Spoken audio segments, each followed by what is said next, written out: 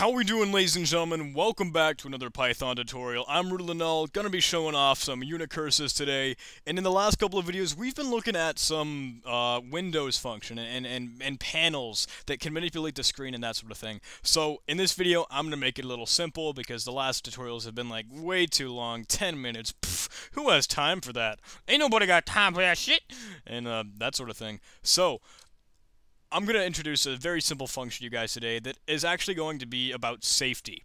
Now, I'm not going to be giving you guys a lecture on the birds and the bees and stuff. I'm just going to let you know that if you want your program to have colors, if you want to make sure that the user has the most beautiful experience in freaking eight colors, there is a function that allows you to test does the does the terminal that we're actually running in have colors? So we can set this up before we actually create our screen, and we can test if has colors. Now what has colors will do is it will test does our terminal actually have colors? So if it does, what we can do is go ahead and print Alright, yeah, we've got colors. Go ahead and run. I mean, obviously, this will not be seen in the case because it'll just go ahead and create everything. But if I actually ran this, let's see what it'll do. Nothing happens, but if I break out, okay, we didn't even get to see that print screen. The thing that I want to specify, though, is we can test if we do not have colors. What we're going to want to do is actually probably break out so I'm going to return 0 because I'm creating a main function here, and that's going to that's going to end the window and everything the end the program anyway, then we can display you need to have colors to run this program.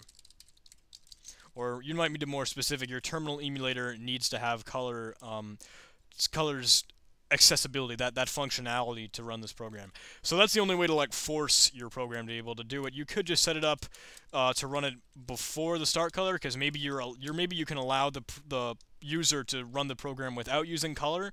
It'll just be like black and white or whatever the person has set up for their their terminal colors and their their setup scheme. But this is the way that we can do it as like a, a prerequisite for our program. We can make sure that, yeah, if we, if we don't have color, then we might not want to bother doing what we're doing. Okay, that's all that I really wanted to show you guys. Very, very simple. Just this function. Has colors. Kind of wanted to take a break from all the long stuff we've been doing the last couple of tutorials. But alright, we're going to jump back into action very, very soon. If you are enjoying the series, please let me know. Write me a comment. Uh, leave a like. Subscribe if you're willing. I don't care. Do whatever you feel is most comfortable, that you're most comfortable with.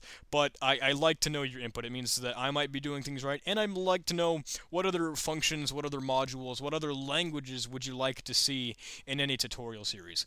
Alright, I'll let you guys go. Thanks again, and I'll talk to you later.